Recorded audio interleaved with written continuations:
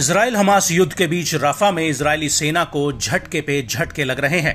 रफा से लेकर अल शुजया कैंप में हमास के लड़ाके इजरायली फौज पर भीषण हमले कर रहे हैं।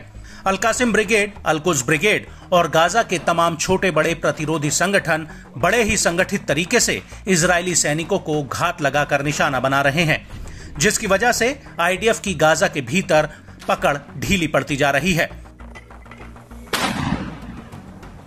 हालाँकि इजरायली सेना अपनी तरफ़ से भी लगातार हमास को तगड़ी चोट देने का दावा कर रही है। लेकिन हमास गाजा से जो वीडियो जारी कर रहा है, वो कुछ और ही गवाही दे रहे हैं।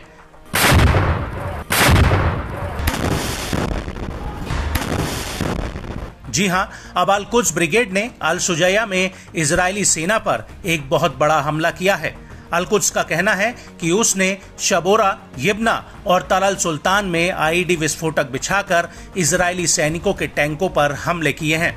अलकुज के अबू हमजा का कहना है कि अलकुज के लड़ाके गाजा के अलग अलग इलाकों में अभी भी अपनी पकड़ मज़बूत बनाए हुए हैं।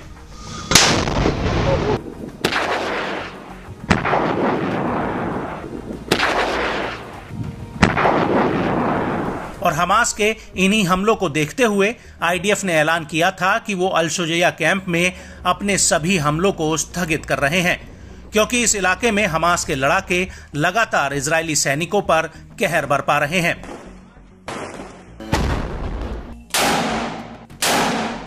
वहीं दूसरी तरफ़ अलकुज ब्रिगेड का कहना है कि उसके लड़ाकों ने अल सुजया कैंप में आईडीएफ की चौकियों पर ताबड़तोड़ तरीके से मोटर गोलों से फायरिंग की है।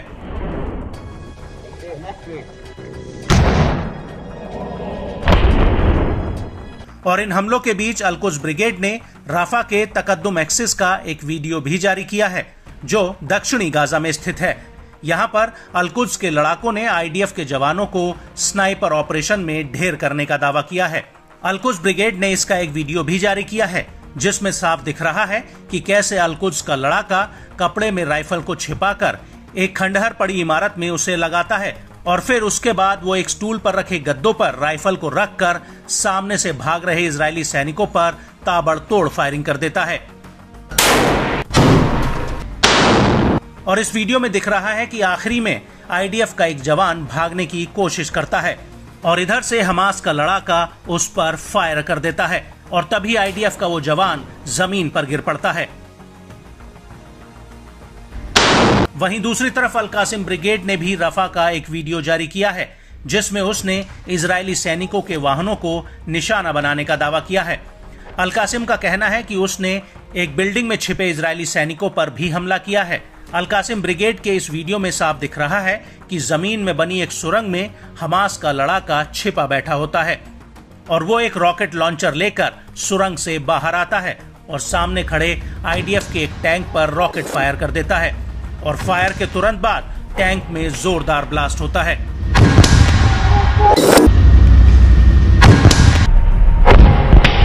इसके बाद एक लड़ाका हरियाली के बीच छिपकर दूर खड़े आईडीएफ के वाहनों पर रॉकेट लॉन्चर फायर कर देता है, जिसमें बहुत बड़ा धमाका होता है।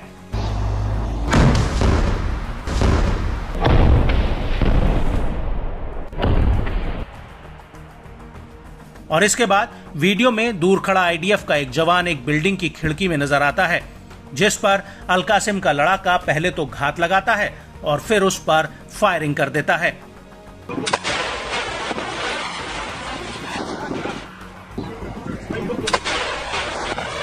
इसके बाद इस बिल्डिंग में अचानक आग लग जाती है और आग की ऊँची ऊँची लपटें खिड़की से बाहर निकलने लगती हैं।